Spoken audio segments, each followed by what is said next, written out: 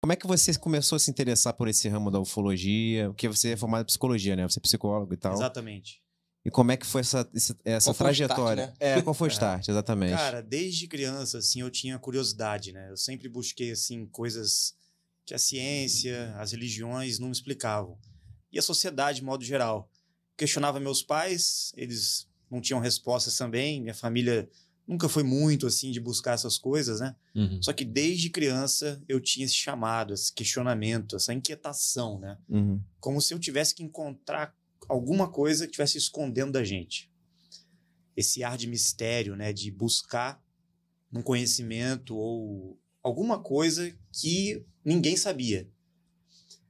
E quando eu passei por algumas experiências na infância, assim, que a gente tem alguns choques Uhum, emocionais, Sim, família, perda de um parente e tal, eu sempre me questionava dessa parte espiritual de Deus, né? Uhum. Aí eu sempre fui conectando questionamentos sobre a existência, sobre Deus, sobre as religiões. Mesmo sendo levado à igreja, eu ficava muito inconformado, porque eu não tinha as respostas. Eu não conseguia simplesmente acreditar porque o padre falava, o pastor dizia. Eu falava, não, está faltando alguma coisa, eu preciso ter um sentido real. Sim.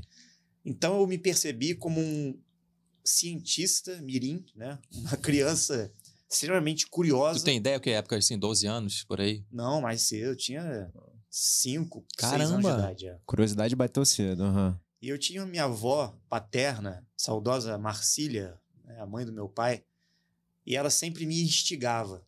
Ela era Uhum. religiosa, Uhum. ela era espírita, foi evangélica, e ela sempre dizia assim: olha, você tem que buscar sempre mais, nunca fique convencido de nenhuma explicação.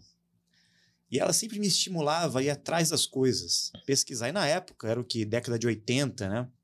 Eu peguei ali o início da década de 80, e ele não tinha tanta informação. A gente tinha que buscar onde, né? Não tinha internet, não tinha nada. internet, É. tinha nada. Sim. Livros existiam, mas assim, eu não tinha referência para pesquisar. Era bem mais buscar. restrito. aham. É. Só que assim, a característica principal que eu tinha na infância era um patinho feio, me sentia deslocado, não via muita graça nas coisas, apesar de ser uma criança que eu gostava muito de fazer esportes, né? Atleta, jogar futebol, né? Ia pra praia, morava em Niterói. Ah, é? É. Caraca. Ah, mas você é carioca? Nasci, é, sou carioca. Pô, Ah, achei que fosse paulista. Minha família toda do Rio, toda de Niterói. Legal. E eu fiquei assim, insatisfeito com tudo, né?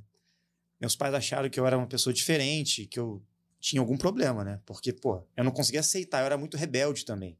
Por isso, né? É, Sentir e- sozinho, né? Exatamente. E chegou um momento que eu comecei a questionar, inclusive, sobre a morte. Assim. Caramba. E virava pros meus pais e falavam: o que, que é a morte? Por que, que as pessoas morrem? Por que, que os animais morrem? Por que que. O que, que é isso tudo? Deus nisso tudo? Quem é Uhum. Jesus? Que história é essa de Jesus?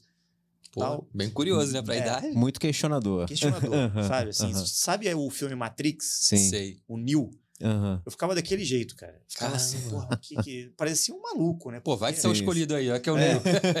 É, e eu Sim. fui escolhido mesmo. Fui escolhido e muitos estão sendo escolhidos, né? Só que poucos estão dando ouvidos a esse chamado. E foi isso que eu não. descobri. né? Aham. É, o filme Matrix é perfeito para é? você ter essa compreensão. É uma analogia perfeita para quem se sente assim. Uhum. Sim.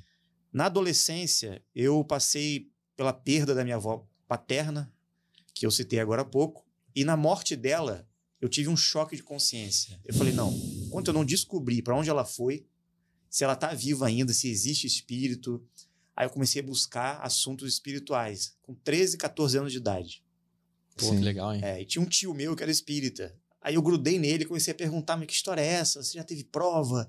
Existe mesmo vida após a morte? Queria uma prova concreta, né? É. Sim. essa história de céu, inferno, eu queria saber, Aham. né? porque eu não me contentava simplesmente com o que o padre dizia e nem o que estava escrito na Bíblia. Eu queria ter uma prova. Sim.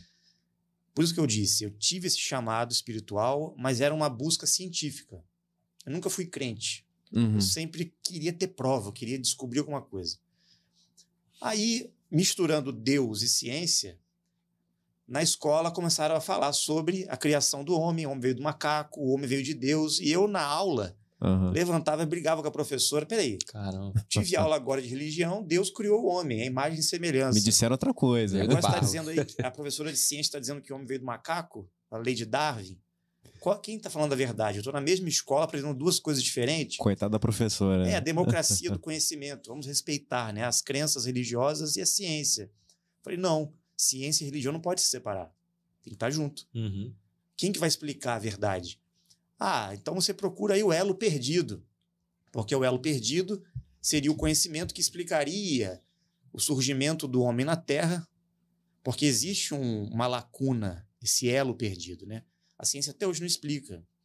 Eles tentam explicar com a teoria de Darwin e tentam trazer para as religiões o criacionismo, né? No final é tudo achismo, né? Ninguém tem Sim, são teorias, teorias. Sim. crenças e interpretações. Só que eu falei, peraí. Aí eu olhava para o céu, eu via os planetas, né, os astros, era fascinado pela astronomia também, né? Aí eu comecei a me questionar, pô, mas será que só existe a gente aqui? Será que Deus está na Terra ou está fora da Terra? Aham. Então quem é Deus? Jesus foi para o céu, mas pô, quem está no céu? Está na nuvem? Aham. Aí eu falei, peraí, tem uma coisa errada.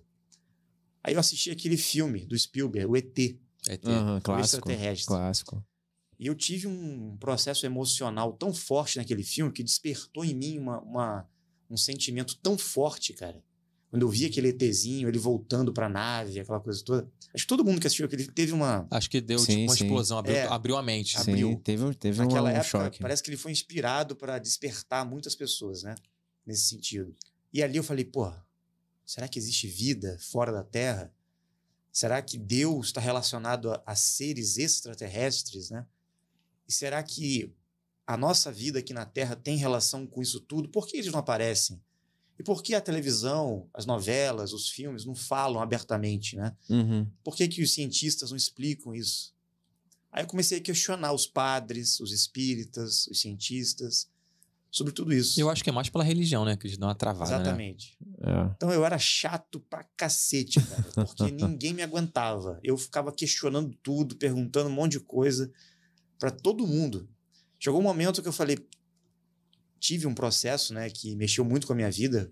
Foi aquele momento que você tem o seu primeiro relacionamento amoroso, aí você perde a primeira namorada que você amou, né, entre aspas. Uhum. Sim. E eu passei por uma crise emocional. E essa crise emocional me levou a um questionamento. Eu falei: olha, eu quero uma resposta agora. Olhei para o céu, né? Conversei com Deus, vamos dizer assim. Eu quero um sentido para minha vida.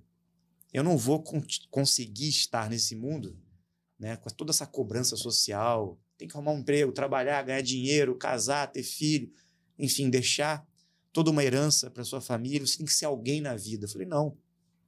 Eu vou ser alguém na vida quando eu tiver um entendimento do que é a vida. Eu não sei ainda o que é a vida. Não sei nem onde eu tô.